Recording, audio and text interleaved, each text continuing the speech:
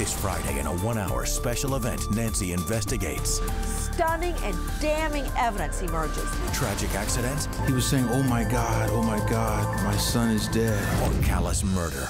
Accused of leaving his baby boy to die in a baking hot car on purpose. The defense? It was a tragic accident.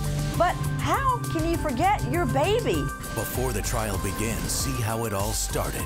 Nancy Grace, Friday night at 8 p.m. on HLN.